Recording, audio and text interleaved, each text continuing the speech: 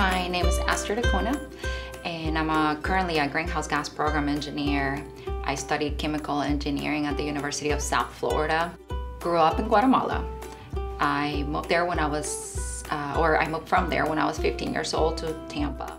And uh, I didn't know what to do with my life, but I did like the news uh, reporters, like the anchor women from Primer Impacto. I don't know if you ever heard of them.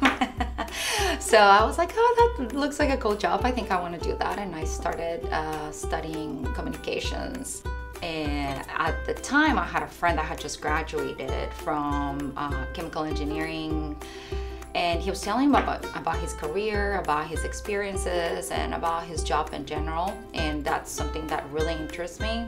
I think I liked engineering a little bit more from what he told me, so he really got me engaged into engineering you have very broad opportunities as a chemical engineer. You can work in the pharmaceutical industry, you can work in environmental as I do now.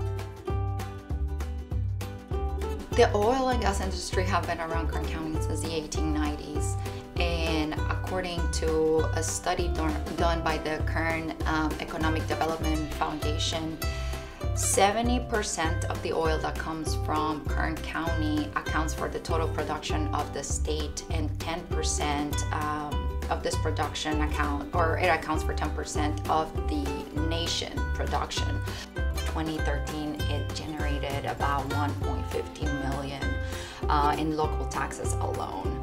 That means that all of these taxes are going to um, building our roads, having the fire department come right away to your house and having all the things that they need, um, and uh, just keeping really the county running.